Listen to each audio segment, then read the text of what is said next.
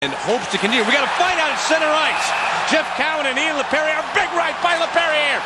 Another right by Laperriere. And another one. Then Cowan comes back with a big left and knocks them down. They both go down to the ice. Laperriere landed a couple of early rights and then give Jeff Cowan credit. He came back with a left hand. About midway through the season. Here's the hit on Cowan. Now Laperriere stays. Be interesting to see how this is handled as far as the referees go. They both dropped the gloves at the same time. Cowan, they felt, Vancouver felt they need a little more toughness. They got